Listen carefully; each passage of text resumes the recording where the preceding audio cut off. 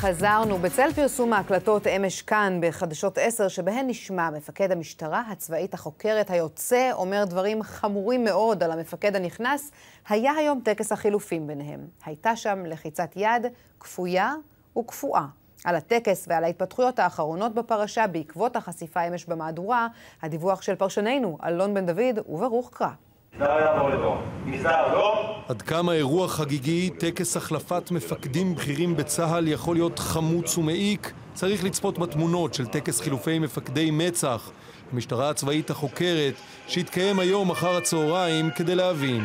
מן העבר האחד, מפקד מצ"ח היוצא, אלוף משנה ארז רבן, מן הצד השני, אלוף משנה גיל ממון, המפקד הנכנס.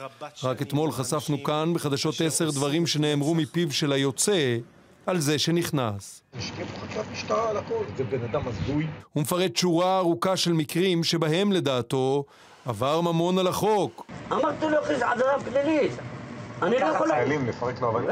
אני פתחתי תיק לאלוף משנה ברגר, מח"ט שכם, על זה שהוא שלח חיילים לשתול לו עץ זית בבית. בנאומו כמובן לא מזכיר דבר ממה שנחשף אמש, אבל אך טבעי שבטקס חילופי מפקדי מצ"ח ידבר על טוהר מידות והרמז עבה מאוד. המשיכו בדרך של אמונה בצדקת הדרך. הילחמו בתופעות עשה לביתך ותפוס כפי יכולתך. אי אפשר היה לפספס את שורת התודות הארוכה של השמות שהזכיר רבן, תודה לכם המפקדים, ססי, אריק, דביר, מירי, איציק ויניב. תודה לכם אריק ואייל. רק את שם מחליפו לא הזכיר. ובניגוד לכללי הטקס, גם בסוף נאומו לא ניגש ללחוץ את ידו.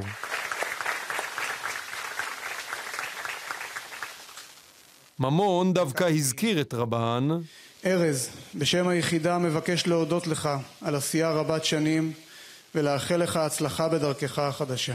וכפי שאתם רואים, לאורך כל דבריו, ולא רק דבריו, ראשו של רבן היה מוסט הצידה, בוהה בנקודה הכי רחוקה ממה שקרה על הבמה. ממון ניגש ללחוץ את היד, ורבן, לאחר היסוס, כמי שכפאו שד, הושיט יד רפויה, והסיט בחזרה את הראש.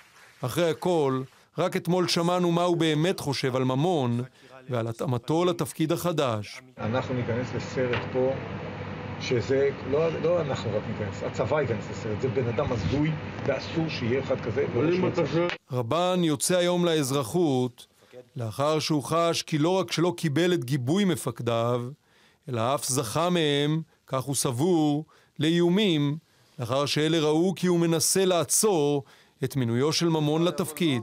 אם ראש אכ"א מאיים עליי, אומר לי, אני אטפל לך באזרחות, אני דואג לך. שלא יהיה לך באזרחות מה לעשות. תרד מהסיפור הזה, עזוב את הסיפור המגיל. אל תיגע... למה? כי הוא בעצמו בתוך האירוע הזה. היום כבר היו פניות ליועץ המשפטי לממשלה לעצור את מינויו של ממון, בעיקר לאור העובדה שאין חולק על כך שחקירת החשדות נגדו טויחה ושובשה. ברגע שמעבירים לנחקר עוד לפני החקירה את המידע המלא על החקירה שלו, אה, ברור לנו שהחקירה כאן לא הייתה רצינית, ברור לנו שההליך הפלילי זוהם. אבל לפחות לעת עתה, הפניות הללו לא הצליחו לעצור את העברת הדגל של אותה יחידה שחורטת על דגלה את טוהר המידות. פרשננו ברוך קרא ואלון בן דוד באולפן בגבעתיים. תחילה אליך ברוכי, הטקס התקיים כמתוכנן, זה לא אומר שהפרשה הזאת הגיעה לסיומה. נכון, ויש, וזה קורה בכמה וכמה צירים. דבר ראשון, מבקר המדינה, שהייתה אליו כבר פנייה לפני אה, כמה ימים בעניין הזה, מגלה עניין בפרשה הזאת וכבר פונה לקצין המשטרה הצבאית הראשית לקבלת התייחסות ראשונית למה שהתלונה אה, בפרשה הזאת אומרת. אה, אה, דבר שני, אנחנו יודעים אה, שהייתה פנייה של התנועה לאיכות השלטון ופניות נוספות ליועץ המשפטי לממשלה. הוא עצמו, אגב, אביחי מנדלבליט, מנוע מלטפל בפרשה פשוט מהסיבה שהוא היה חשוד אה, בפרשת הרפז, וכמובן יש פה אה, חיבור לפרשה הזאת, ולכן מי שיטפל בפנייה הזאת זה שי ניצן, פרקליט המדינה, שכבר העניין הזה אצלו, הוא בודק האם סגירת התיק היא אכן אה, נעשתה כמו שצריך.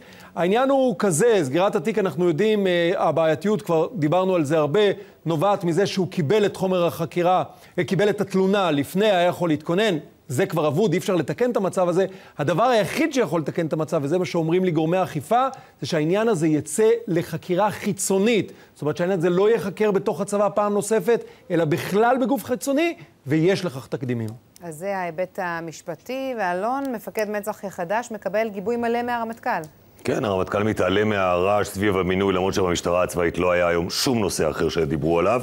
מבחינת איזנקוט הוא איתן בדעתו, ההאשמות של רבן ושל אחרים נבדקו, ממון נוקה, אין לאיזנקוט כוונה לחזור בו מהמינוי. גם הפרקליט הצבאי הראשי מרגיש שהחקירה בנושאים האלה מוצתה, ונזכיר שכמו כל אלוף משנה, ממון עבר בדיקת פוליגרף לפני קבלת הדרגה, הדרגה וזו בדיקה עם שאלות פתוחות, כמו האם ביצעת עבירה על החוק, זה אמור היה גם... להציף בעיות אם יש כאלה. אז אם לא יתגלה מידע חדש, אני מתקשה לראות את הצבא פותח מחדש את החקירה הזאת, אבל בעוד שבועיים ייכנס לתפקיד מפקד חדש לחיל המשטרה הצבאית, שהוא מינוי חיצוני מחיל האוויר, ופה יש יתרון. כי תת-אלוף רן כוכב לא מחויב ולא מחובר לאף אחד מהקצינים המעורבים, ואם הוא ירגיש שיש עננה שמלווה את מפקד מצ"ח שלו, שום דבר לא צריך למנוע ממנו לבדוק ולנקות את האווירה הזאת. אלון וברוכי, תודה רבה לשניכם.